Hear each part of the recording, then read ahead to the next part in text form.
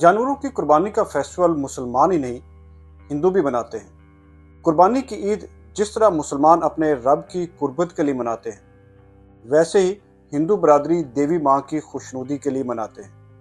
मुसलमान हर साल ईद पर करोड़ों जानवरों की कुर्बानी करते हैं, लेकिन हिंदू बरदरी एक ही रोज़, एक ही जगह सबसे ज़्यादा जानवरों की कुर्बानी करते हैं। भारत में वैसे तो बीफ पर बहुत तनाव पैदा होता है लेकिन हिंदुओं के इस त्यौहार में बीफ कटता भी है और खाया भी जाता है। मुसलमानों की कुर्बानी की ईद का त्यौहार शुरू हुआ हज़रत इब्राहीम अलैहिस्सलाम के ख्वाब से और हिंदू बरदरी के मुताबिक उनके त्यौहार का आगाज़ भी एक ख्वाब से ही हुआ।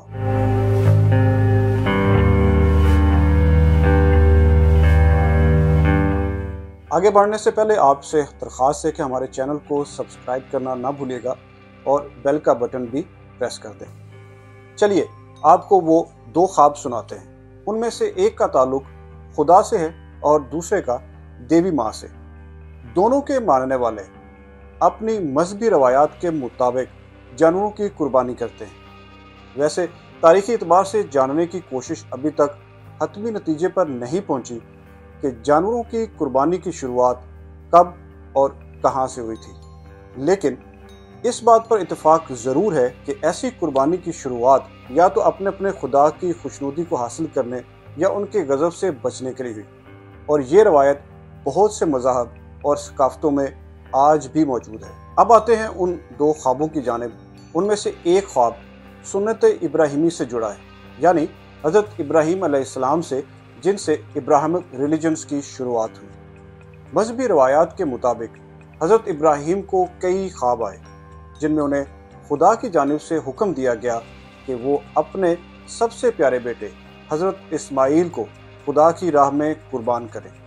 लेकिन जब कुर्बानी का वक्त आया तो जब्राइल फरिश्ते ने हज़रत इस्माइल अलैहिस्सलाम की जगह दुम्बे को रिप्लेस कर दिया।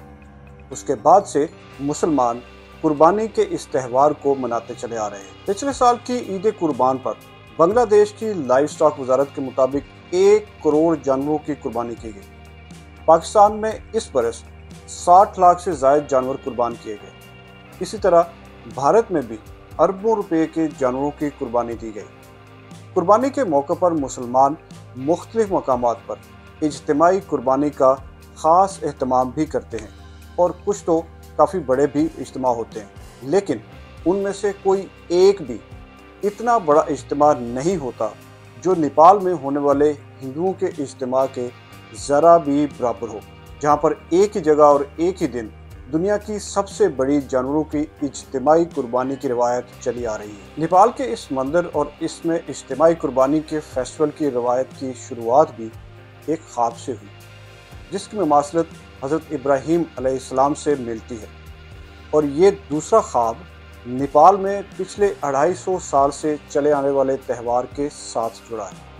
कहते हैं कि तकरीबन 270 साल कबल सलाखों के पीछे कैद भगवान चौधरी को ख्वाब में गादी माई का दर्शन हुआ। गादी माई का मतलब शक्ति की देवी। तो ख्वाब में देवी माँ ने उसे कहा कि अगर वो उसके लिए इंसानी जान की बलि चढ़ाए तो उसकी मुश्किलें आसान हो जाएँगी। ताहम उसने कोशिश करके गादी माई के लिए जानवर की बलि चढ़ाई और देवी माँ से उसे कबूल करने की इस्तदाद की, जो देवी माँ ने कबूल की। उसका नतीजा ये निकला कि उसकी तमाम मुसीबतें ख़त्म हो गई और रिहाई भी मिल गई।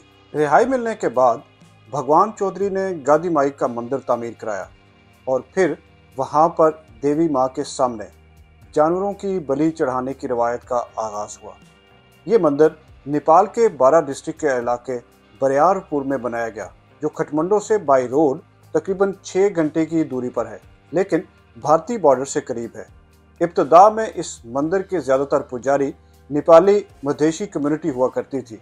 लेकिन अब यहाँ पर होने वाले दो रोज़ा फेस्टिवल में सत्तर फ़ीसद हिंदू भारत के मुख्तलिफ़ इलाकों से आते हैं। अब हर पाँच साल बाद ये फेस्टिवल मुनद होता है और देवी के मानने वाले हिंदू दुनिया भर से इकट्ठे होते हैं और अपनी माली शकत के मुताबिक जानवरों की कुर्बानी करते हैं, जिसमें बफलो बकरे, सुअर हती के चूहे, मुर्गियाँ और कबूतर भी बलि चढ़ाए जाते हैं।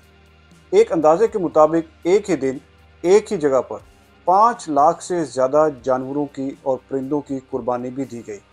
बलि देने का मकसद गादी माई की ब्लेसिंग्स लेना और देवी माँ से अपनी मुसीबतों से छुटकारे और खुशहाली पाने की उम्मीद होती है। मजहबी रस्मात अपनी जगह, लेकिन अब जानवरों के हकूक़ की तंजीमें मुतालबा कर रही हैं। कि गादी माई फेस्टिवल में जानवरों की कुर्बानी पर पाबंदी आयद की जाए। हालाँकि नेपाली हुकूमत ने 2015 में और फिर नेपाली सुप्रीम कोर्ट ने कुर्बानी के इस अमल को ालिमाना करार देकर पाबंदी आयद की, लेकिन फिर भी 2019 में होने वाले इस फेस्टिवल में जानवरों की कुर्बानी दी गई। अब इस बात पर बहुत ज़्यादा मुतालबा है कि 2024 में होने वाले इस फेस्टिवल में हर किस्म के जानवर की कुर्बानी रोकी जाए। लेकिन गादी माई के मानने वाले इन मुतालबात को मजहबी रसूमात में मुदाखलत करार देकर रद्द करते चले आ रहे हैं। अब देखना यह है कि कौन अपनी बात मनवा पाता है।